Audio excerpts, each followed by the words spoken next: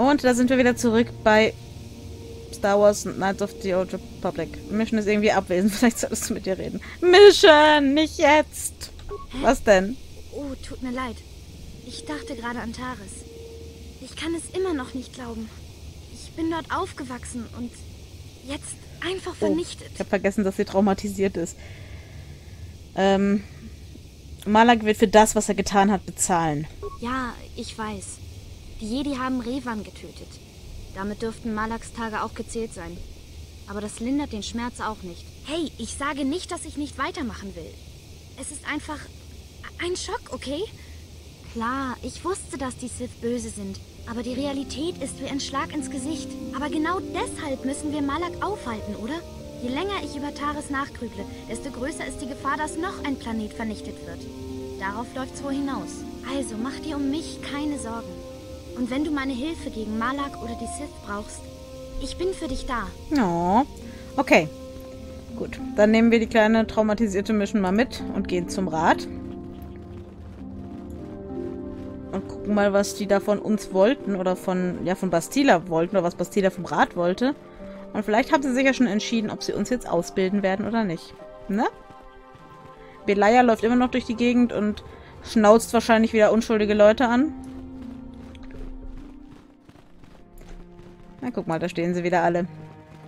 Bastila hat uns von einer äußerst ungewöhnlichen Entwicklung erzählt. Sie behauptet, sie und ihr hättet einen Traum geteilt. Eine Vision, die Malak und Revan gemeinsam hier auf Dantooine in den alten Ruinen gezeigt hat. Ich habe geträumt, ja, aber da war sie nirgends. schon lange, haben sie aber für einfache Begräbnisstätten gehalten. Vielleicht steckt aber doch mehr dahinter, wenn Revan und Malak dort etwas gefunden haben. Äh, was? Woher kann Bastila wissen, dass wir den gleichen Traum hatten? Sie hat gesagt, sie hätte eure Anwesenheit in ihrem Traum gespürt. Eine Präsenz, die sie in euch gespürt hat, Master Vandar, die sie in euch seit Tares gespürt hat. Etwas derartiges ist nichts Ungewöhnliches bei zwei Personen, in denen die Macht stark ist. Bastila hat den gemeinsamen Traum dem Rat sehr detailliert beschrieben. Es ist mehr als ein Traum. Es ist eine Vision gewesen. Die Macht wird durch euch und durch Bastila. Habe ich jetzt Visionen? Ihr und Bastila teilt ein starkes Band miteinander und mit der Macht. Das kommt nicht selten vor. Oft bildet sich so ein Band zwischen Meister und Schüler. Doch es kommt nur äußerst selten vor, dass es so schnell geschieht. Welche Gefahren auch noch vor uns liegen mögen, wir dürfen die Tatsache nicht ignorieren, dass das Schicksal euch und Bastila gemeinsam hierher zu uns gebracht hat. Wollt ihr sagen, dass ich mit ihr verbunden bin? Ihr zwei seid verbunden. Euer Schicksal ist eines. Hättest einfach Ja sagen können. Gemeinsam könntet ihr in der Lage sein, Darth Malak und die Sith aufzuhalten. doch ihr dürft euren Verstand nicht durch Vorstellungen von Ruhm und Macht vernebeln lassen. Derartige Gedanken führen euch auf die dunkle Seite. Ihr müsst lernen, dass der helle Weg lang und mühsam ist. Seid ihr bereit, zahllose Entbehrungen auf euch zu nehmen? Ähm, ja, ich bin bereit, was auch immer auf mich wartet. Ihr müsst wissen, dass weder euch noch uns in dieser Angelegenheit eine Wahl bleibt. Die Reihen der Jedi lichten sich überall in der Galaxis. Wir haben viele Jedi ausgeschickt, um Malaks Eroberungen ein Ende zu setzen. Viele sind nicht zurückgekehrt. Die Sith jagen die Jedi wie Tiere.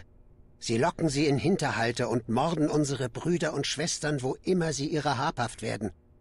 Wir fürchten, dass es nur eine Frage der Zeit ist, bis sie unser verstecktes Refugium hier entdecken. Andere Jedi sind bereits gefallen und haben die dunkle Seite in ihren Herzen willkommen geheißen. Sie haben den Sis und Malak, ihrem dunklen Lord, die Treue geschworen. Ich könnte ja auch die ganze Zeit eiskalt lügen, ne? Äh, was, Jedi ergeben sich der dunklen Seite? Es ist schwer, sich den Verlockungen der dunklen Seite zu widersetzen. Malaks Macht wächst mit jedem Planeten, der von seinen Armeen erobert wird. Wenn Malak nicht aufgehalten wird, wird die Republik fallen. Die Jedi werden gejagt und ausgelöscht. Die Galaxis wird in ein dunkles Zeitalter der Tyrannei stürzen, wie wir es schon seit Jahrtausenden nicht mehr gesehen haben. Der Rat hat bestimmt, dass ihr und Bastila die alten Ruinen untersuchen müsst, von denen ihr geträumt habt. Sobald der Rat der Ansicht ist, dass ihr dazu bereit seid. Vielleicht findet ihr dort einen Hinweis, eine Erklärung, wie Revan und Malak verdorben wurden. Und vielleicht findet ihr dort auch einen Weg, sie zu stoppen. Ähm, ich bin jetzt bereit. Ich nehme den Auftrag an. Die Macht ist in euch stärker als in allen Studenten, die wir bisher sahen. Doch ihr seid stur und eigensinnig, eine gefährliche Kombination. Bevor wir euch ausschicken, die Ruinen zu untersuchen, müsst ihr in den Lehren der Jedi ausgebildet werden, damit ihr der Dunkelheit widerstehen könnt, die in euch schlummert, ja, die in uns allen schlummert. Würdet ihr überhastet dorthin aufbrechen, wärt ihr zum Scheitern verurteilt. Mm, okay, wie ihr wünscht, Master Wanda. Wir müssen sofort mit eurer Ausbildung beginnen. Auf euren Schultern lastet eine Bestimmung. Ihr müsst auf sie vorbereitet sein. Das Schicksal der Galaxis hängt von euch ab. Ich kann nur hoffen, dass ihr der Aufgabe gewachsen seid. Der Pfad, den ihr Fräulein gewählt Nörgler. habt, ist schwierig. Intensives Training wird euch körperlich darauf vorbereiten. Mit Meditation werdet ihr lernen, die Kraft eurer Macht in die richtigen Bahnen zu lenken. Um die Wege der Jedi vollständig zu verstehen, müsst ihr euren Geist für das Wissen öffnen. Sucht die Weisheit in der Lehre der großen Meister des Ordens. Ein Jedi ist niemals allein. Andere Mitglieder des Ordens stehen euch immer zur Seite. Ein besonderes Band verbindet euch mit Bastila. Zögert nicht, euch an sie zu wenden, wenn ihr Hilfe braucht. Alle, die Olde da rennt immer noch im Kreis. Das Leben eines Jedi birgt Schwierigkeiten und erfordert hohe Disziplin. Aber obwohl ihr nur ein Schüler seid, ist euer Potenzial grenzenlos und euer Fortschritt ist unglaublich. Jetzt schweben In hier schon all die, den Schü Jahren die habe Stühle, ich ne? niemals jemanden gesehen, der das Grundtraining so schnell gemeistert hat wie ihr. Ihr habt in ein paar Wochen das gelernt, was andere in Jahren nicht lernen. Ich fühle mich geehrt, euch hiermit im Orden der Jedi willkommen zu heißen. Bald wird eure Zeit als Schüler enden. Dann werdet ihr zum Padawan. Ihr gehört damit zum Jedi-Orden, habt aber noch den niedrigsten Rang inne. Doch zuerst müsst ihr euch als würdig erweisen. Und wie kann ich mich als würdig erweisen? Gemäß den Traditionen und Bräuchen des Ordens, die von Meister an Schüler seit tausend Generationen weitergegeben werden, müsst ihr drei Tests bestehen, bevor ihr von den Jedi aufgenommen werdet. Und was sind das für Prüfungen? Diese Tests sollen beweisen, dass ihr die Ausbildung, die man euch gegeben habt, sowohl geistig als auch körperlich verinnerlicht habt. Sobald ihr die Tests bestanden habt, werdet ihr nicht mehr Schüler sein, sondern Padawan und damit zu den Jedi gehören. Zuerst werde ich euch über euer Wissen des Jedi-Kodexes befragen. Diese Grundsätze müssen all eure Taten leiten. Bei allem, was ihr tut, müsst ihr euch ihrer Weisheit bewusst sein. Ihr müsst unseren Kodex lernen, bevor wir euch prüfen. Unterhaltet euch mit den anderen Jedi der Enklave und kommt zu mir zurück, wenn ihr mehr wisst. Okay, ich glaube, wir können es mehrmals probieren. Und ich kenne den Kodex zwar nicht auswendig, aber ungefähr. Seid mir gegrüßt, Schüler. Euer bisheriger Fortschritt war erstaunlich. Seid ihr hier, um eure Ausbildung auf dem Pfad des Jedi fortzusetzen? Ähm. Ja, ich bin bereit. Bald wird eure Zeit als Schüler Ja, das hatten wir schon. Bin für die Prüfung bereit. Diese Tests sollen wir zuerst. Ihr müsst nun beweisen, dass ihr den Kodex als Jedi versteht, indem ihr die Lehrsätze des Ordens vollendet. Mhm. Es gibt keine Gefühle, Ach du Scheiße. Ähm. Es gibt Gelassenheit. das stimmt nicht, Schüler. Verdammt. Es ist Okay. keine Schande, kehrt zu Okay, mir. okay, okay. Ich weiß, es ist immer, es gibt kein es gibt nur. Und am Ende heißt es, es gibt keinen Tod, es gibt nur die Macht. Das ist das Letzte, das weiß ich. Das glaube ich, dass ich das weiß. Äh, es gibt keine Gefühle, es gibt Harmonie, Frieden. Okay, ich rede mit den anderen. Dann machen wir es halt doch so, wie das Spiel es will. Hey, kann mir jemand den Jedi-Kodex beibringen? Ah, ihr streift also durch die Räume und Gänge unserer Enklave, obwohl ihr doch eifrig beim Studium eurer Lektionen sein solltet. Ich möchte mehr über den Jedi-Kodex erfahren. Ihr kennt den Jedi-Kodex nicht?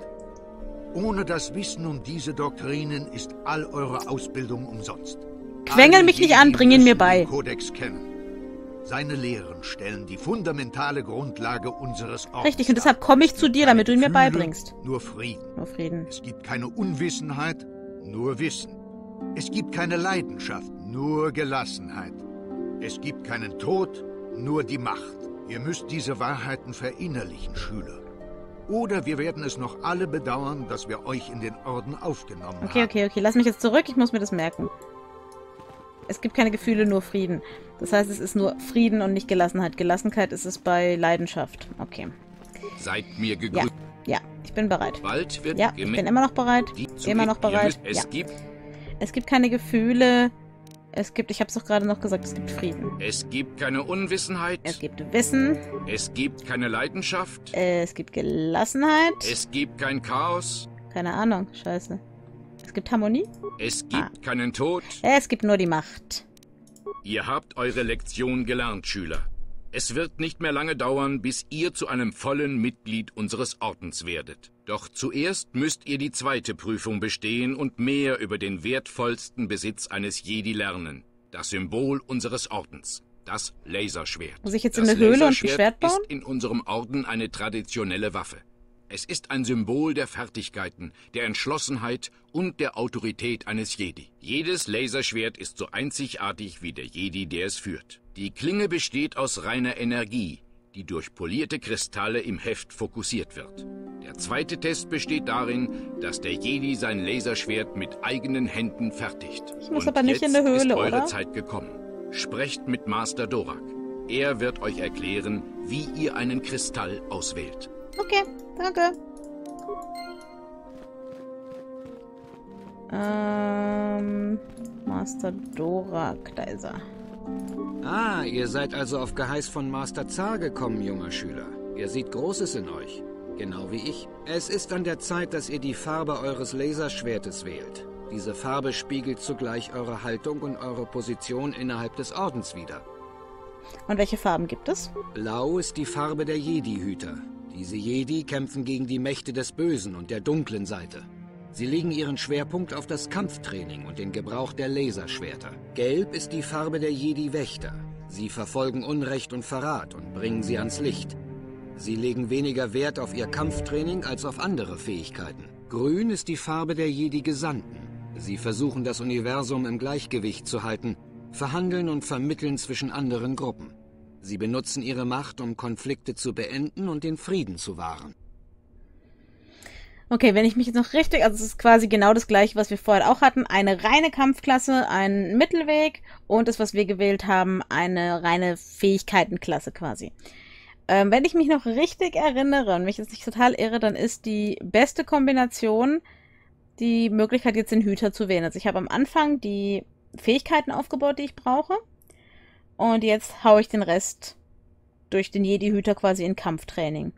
Ich hoffe, ich verskill mich nicht kolossal, sonst müssen wir das irgendwie korrigieren. Aber ich möchte ein Jedi-Hüter werden. So, so. Nun, wir werden sehen. Ich werde euch so. jetzt ein paar Fragen stellen und eure Ups. Antworten werden uns verraten, zu welchem Pfad ihr am ehesten neigt. Oh Gott, das Eine ihr auch noch- Frau mit einem kleinen Kind wird von einer Horde bewaffneter Banditen bedroht und sie schreit um Hilfe. Was tut ihr?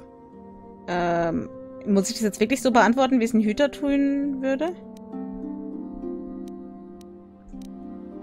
Die Schläger aufhalten und herausfinden, warum sie sie angreift. Ich weiß es nicht. Ach scheiße, ich beantworte das jetzt einfach so, wie ich es wirklich beantworten würde. Ähm, ich würde... Sie wird nur bedroht und schreit um Hilfe. Ich würde versuchen, rauszufinden, was los ist. Ah ja. Gut, dann weiter mit der nächsten Frage. gibt sowas von Ihr keinen kämpft Hüter. gegen einen dunklen Jedi, der sich mit den Sith verbündet hat. Es gibt eine kurze Kampfpause. Was tut ihr? Erstmal ein Snickers. Ähm. Warum er der dunklen Seite erlegen ist, versuchen ihn zurückzuholen. Das klappt doch nie. Ich würde versuchen, Schwächen seiner Technik zu erkennen. Ja, das dachte ich mir schon. Nun zur nächsten Frage. Ihr steht vor einer verschlossenen Tür. Euer Ziel befindet sich dahinter. Was tut ihr? Tür knacken. Ja, Schloss knacken. Ich glaube, da zeichnet sich langsam ein Muster ab. Ich denke, ich weiß schon, welcher Weg für euch der richtige ist. Aber zunächst noch die letzte Frage. Ihr leitet eine Enklave auf einer umkämpften Welt. Die dunklen Jedi haben die Welt infiltriert und stiften Unruhe. Was tut ihr? Mm.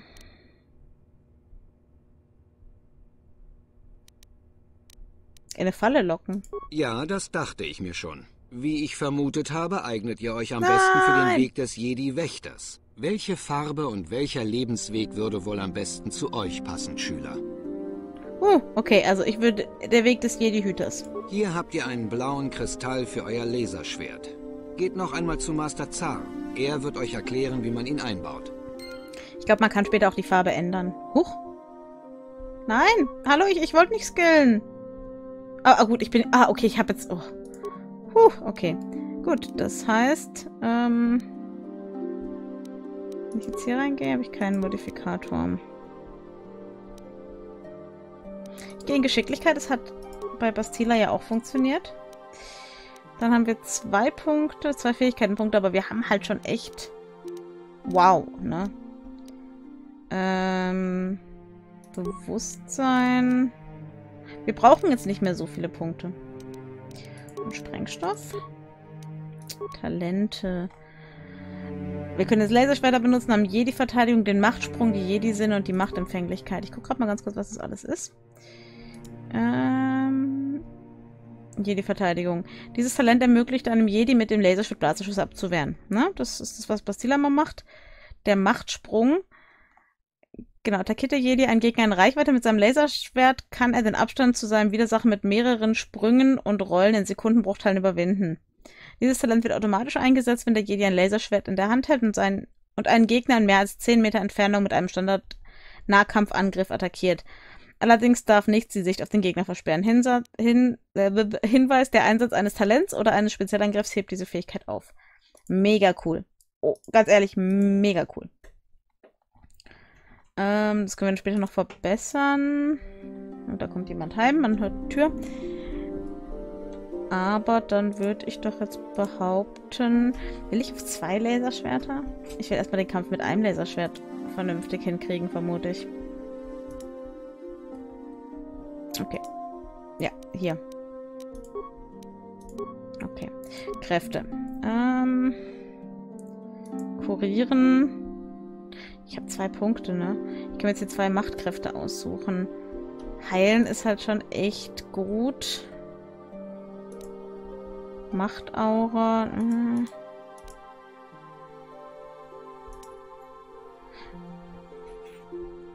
Ah, Geist verändern, genau. Das ist, äh, das sind nicht die Druiden, die ihr sucht. Definitiv. Und das könnte man dann direkt auf Geist kontrollieren. Genau. Das ist halt das Einzige, was wir machen können. Das heißt, ich würde das... Ja, es ist zwar ein reines Dialogtalent, aber es ist so gut. Okay, und wir haben hier direkt nochmal Level Up. Das heißt... So. Da haben wir zwei Punkte. Die gehen... Überreden brauchen wir jetzt nicht mehr. Hab ich... Hätte ich gar nicht so hoch skillen müssen, wenn ich... Wenn ich egal. Bewusstsein immer nochmal... Sicherheit und Bewusstsein. Bewusstsein braucht man immer. Kräfte dürfen wir jetzt auch mal eine aussuchen. Hm.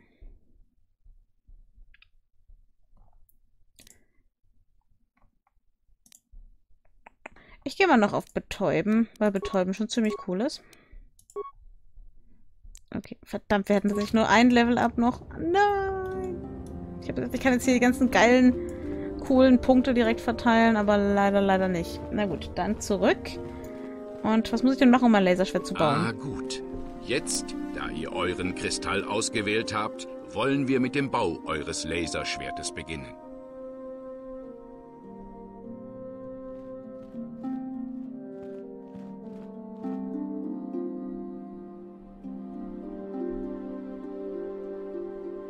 Ja. Ah, cool. Okay, das ist der Kristallblau. Ich könnte auch noch andere. Das ist wirklich nur die Farbe. Also das hat keinen, keinen Einfluss. Hier haben wir leider nichts. Und da haben wir leider auch nichts. Dann bauen wir es halt mal zusammen. Uh, ich habe einen Laser. Ich bin ein Jedi. Guck mal, Karth, ich bin ein Ihr Jedi. habt bei der Anfertigung eures Laserschwertes gut gearbeitet. Der Kristall ist perfekt gefasst. Das kommt nur ganz selten vor, wenn jemand sein erstes Laserschwert anfertigt. Die Kristalle sind sehr selten. Man findet sie nur in Höhlen, in denen die Macht stark ist. Indem ihr Kristalle in euer Laserschwert einbaut, könnt ihr seine Eigenschaften verändern oder verbessern. Es gibt sogar Gerüchte über Höhlen der Macht hier auf Dentuin, wo man derartige Kristalle finden kann. Ja, meins. Und äh, ich kann die Kristalle auf Dentuin finden? Doch es ist nur ein Gerücht. Ich weiß nicht, ob etwas Wahres daran ist. Aber erst müsst ihr lernen, mit eurem Laserschwert umzugehen. Seid vorsichtig, wenn ihr es zieht. Euer Laserschwert identifiziert euch als Mitglied des Jedi-Ordens. Viele werden euch ehren und respektieren, aber gleichzeitig werdet ihr auch von gefährlichen Feinden erkannt. Die Sith und die dunklen Jedi werden versuchen, euch zu zerstören, Schüler. Und ihr müsst euch im Kampf gegen einen Feind, der ebenfalls ein Laserschwert trägt, würdig erweisen. Seid ihr bereit für die letzte Herausforderung, Schüler? Jawohl, ich bin bereit, mich der dritten Prüfung zu stellen. Jeder Jedi muss stets mit der Bedrohung durch die dunkle Seite leben. Ihr müsst das wirklich verstehen, bevor euch der Orden aufnimmt. Ihr müsst die Korruption der dunklen Seite mit eigenen Augen sehen. Selbst hier auf Dantooine gibt es Orte, an denen die dunkle Seite herrscht. Dort verdirbt und verdreht sie die Natur selbst. Im Südosten ist ein uralter Hain, der von den Jedi zur Meditation genutzt wurde. Doch der Hain ist jetzt verdorben eine Aura aus Dunkelheit umgibt die Gegend rund um den Hain. Die Karthunde in der Gegend sind wild und rastlos geworden. Sie sind jetzt eine Bedrohung für die Siedler. Eine Bedrohung, die zu beseitigen wir Jedi versprochen haben. Und deswegen muss ich's machen. Äh, was soll ich also tun, Master Zar? Die Karshunde sind natürlich nur ein Symptom für die wirklichen Probleme. Ihr müsst in den Hain gehen und euch der wahren Quelle der Dunkelheit gegenüberstellen. Das ist eure Aufgabe. Könnt ihr mir nicht noch mehr Rat geben? Mehr kann ich dazu nicht sagen. Manche Dinge müsst ihr selbst erfahren. Keiner der anderen Jedi in der Akademie darf euch bei dieser Aufgabe helfen. Doch denkt an eines, Schüler. Ein Jedi agiert mit Geduld und Umsicht. Jene, die auf dem dunklen Pfad wandern, sind nicht für immer verloren. Der alte Hain ist noch immer von der dunklen Seite verdorben. Wir können mit eurer Ausbildung nicht fortfahren, solange die Ausbreitung der dunklen Seite nicht aufgehalten wurde. Das ist eure Aufgabe, Schüler. Möge die Macht mit euch sein. Okay, das werden wir auch machen, aber nicht mehr heute, sondern beim nächsten Mal. Bis dahin. Ciao, ciao.